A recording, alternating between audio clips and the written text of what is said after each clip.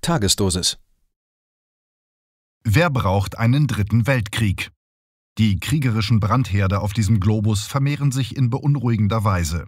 Wann wird aus dem Schwelbrand ein globaler Flächenbrand? Ein Kommentar von Hermann Plopper. Es ist einfach beängstigend, wie fast jeden Tag neue Kriegsherde aufgemacht werden. Da war doch was mit Syrien. Dazu noch Georgien gegen Russland, der Ukraine-Krieg, der sich mit großer Brutalität vor unseren Augen abspielt. Dann wird mal eben die armenische Bevölkerung von Bergkarabach in das armenische Mutterland verschoben. Nichts weniger als eine sogenannte ethnische Säuberung im Zeitraffer. Und schon platzt der Nahe Osten mit unbeschreiblicher Brutalität vom ersten Kriegstag an. Es wäre schon verwegen zu glauben, dass sich diese Gewaltexplosion mal eben so wieder auf Null bringen lässt. Das riecht verdammt nach einem dritten Weltkrieg. Was ist denn überhaupt ein Weltkrieg? Wodurch unterscheidet er sich von regional begrenzten Kriegen? Inwiefern der Erste Weltkrieg wirklich die ganze Welt erfasst haben soll, ist nicht erkennbar. Die meisten Regionen dieses schönen Globus blieben von kriegerischen Handlungen verschont.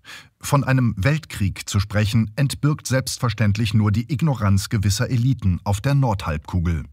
Auch im Zweiten Weltkrieg blieb es im gesamten Amerika friedlich, was vielen Flüchtlingen aus Europa Sicherheit und Schutz bot. Dagegen haben wir heute eine Friedensordnung, die den Namen nicht verdient. Fast überall auf der Welt brennt und schwelt es wie nie zuvor. Der Globalismus verschont keine Weltregion mehr. Alleine im Jahre 2022 wurden 363 Konflikte weltweit verzeichnet. Dabei geht die Skalierung von feindseligen Disputen verschiedener Länder über Ressourcen oder Gebiete bis zum offenen Krieg von Armeen. Wussten Sie, dass in Myanmar gleich zwei kriegerische Konflikte toben? Wir wissen ein wenig über die furchtbaren Kriege im Sudan oder in Äthiopien. Ganz schlimm ist in Afrika die sogenannte Demokratische Republik Kongo. Dort sind im Kampf um die für die Handyproduktion wichtige Förderung von Koltan oder um Gold bislang über sechs Millionen unschuldige Zivilisten ermordet worden. Doch unsere Medien sind halt sehr selektiv bei ihrer Auswahl der berichtenswerten Kriege. Die Globalkonzerne wollen nun einmal bei ihrer Ausbeutung der Rohstoffe nicht mit den Völkern vor Ort teilen. Sie lassen die Rohstoffe von angeheuerten Killertruppen einfach rauben und außer Landes bringen. Oder ein schwaches Land wird als geostrategischer Vorposten gegen einen Rivalen benötigt. Das nennt man dann, Zitat, Kampf gegen den Terror, Zitat Ende, oder Zitat, humanitäre Intervention, Zitat Ende. Aber diese grässlichen Schwelbrände bleiben regional begrenzt, wenn das anvisierte Ziel erreicht wurde. Zitat Mission accomplished. Zitat Ende. Tatsächlich wurde das anvisierte Ziel oftmals nicht erreicht.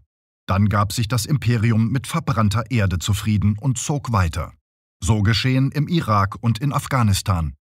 Solange die Großmächte diese Ordnung akzeptieren, ist das Umschlagen eines Schwelbrandes zum globalen Flächenbrand ausgeschlossen.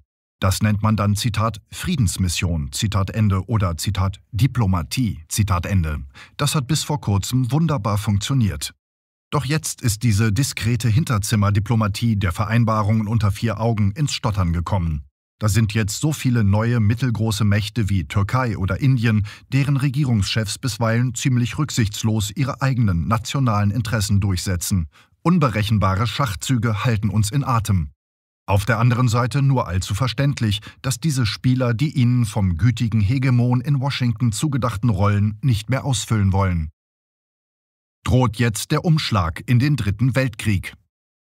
Schauen wir mal zurück in der Geschichte. Wie kam es zu den beiden Weltkriegen? Der Erste Weltkrieg entbrannte, weil die bisherige Weltmacht Nummer 1 Großbritannien mit Russland und Deutschland zwei äußerst dynamische Herausforderer vorfand. Der englische Geopolitiker Halford Mackinder sprach es 1904 schon aus. In dem Augenblick, wo die Seefahrt nicht mehr das effektivste Verkehrsmittel war, sondern durch Eisenbahn und Automobile auch Landmächte eine realistische Expansionsmöglichkeit gegeben waren, ab dem Moment war die Vorherrschaft Großbritanniens in Gefahr. Nun galt es für Großbritannien, die aufstrebenden Kontinentalmächte zu deckeln und als Subunternehmer zu einem Teil der eigenen Herrschaft zu machen. Tatsächlich hatte Deutschland Großbritannien als Wirtschaftsmacht bereits im Jahre 1900 überholt. Durch den Ersten Weltkrieg gelang es dann tatsächlich, die Herausforderer Russland und Deutschland zu deckeln. Aber Großbritannien und sein Verbündeter Frankreich waren jetzt massiv bei amerikanischen Banken verschuldet. Nun waren die USA Weltmacht Nummer eins.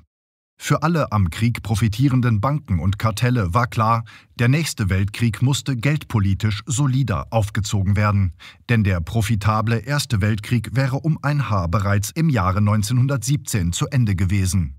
Großbritannien und Frankreich waren pleite und hätten jetzt kapitulieren müssen. Deswegen wurde 1930 in Basel die Bank für internationalen Zahlungsausgleich gegründet. Der Öffentlichkeit wurde gesagt, die BIZ solle die Reparationszahlungen Deutschlands an die Siegermächte effektiver abwickeln. Doch tatsächlich diente die BIZ allein nur dem Zweck, dafür zu sorgen, dass alle Kriegsteilnehmer, Freund und Feind, Alliierte und Achsenmächte immer regelmäßig mit Geld ausgestattet wurden, damit der Krieg bis zur Erreichung des Kriegsziels reibungslos weitergeführt werden konnte. Nach dem Zweiten Weltkrieg wurde dann die amerikanische sogenannte Friedensordnung errichtet, mit all den Instrumenten, die sich seit der Gründung der Bank für internationalen Zahlungsausgleich so wunderbar bewährt hatten. Mit dem Internationalen Währungsfonds und der Weltbank konnte man nun irgendwann alle Länder dieser Welt auf friedliche Weise an sich binden. Es gab immer die Sowjetunion, die ihre klar definierte Funktion als Begründung für absurd hohe Rüstungsausgaben der kapitalistischen Länder erfüllte. Nach der Abwicklung dieses geostrategischen Sparringspartners blieb die unilaterale Weltordnung, in der die USA tun und lassen konnte, was sie wollte. Doch diese straflose Weltbeherrschung durch die USA war auch der Anfang vom Ende. In der Pax Americana war China der Part des Subunternehmers der USA zugedacht. In ihrer Hybris träumten die US-Strategen, dass das Reich der Mitte sich dauerhaft mit dieser Rolle des Subunternehmers der USA zufrieden geben würde. Doch China hat ein klares Entwicklungskonzept. Und das sieht vor, dass China in einem klar definierten Zeitraum die USA überholen werden. Bereits im Jahre 2017 hat der Internationale Währungsfonds die Volksrepublik China zur Wirtschaftsnation Nummer 1 erklärt, in Begriffen der Kaufkraft und realer Wirtschaftsleistung und wenn man nicht die Luftnummern an den Börsen mitrechnet. Dazu hat China sich ein Umfeld von befreundeten Nationen geschaffen, die durch wirtschaftliche Kooperation an China gebunden werden. USA setzt auf Abnutzungskrieg und verliert. Hier finden wir wieder die Konstellation vor, die zum Ersten Weltkrieg geführt hat. Jetzt ist nicht Deutschland der Herausforderer der weltweiten Nummer eins, sondern die Volksrepublik China.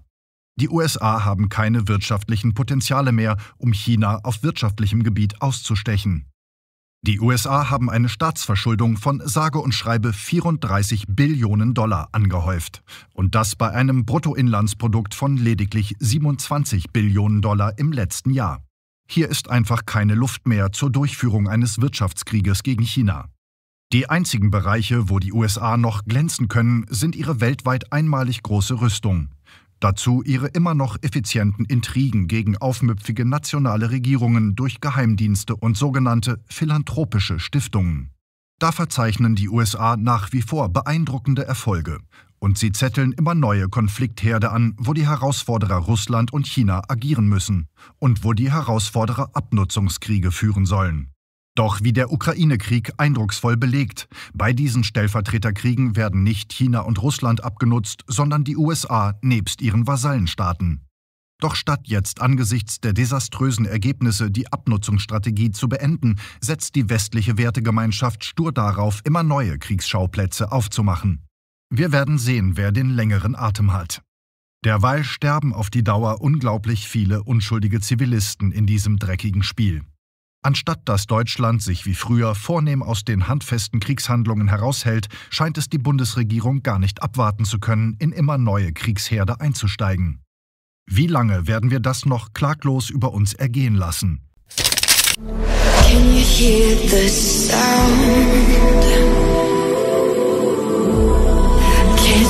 Us now.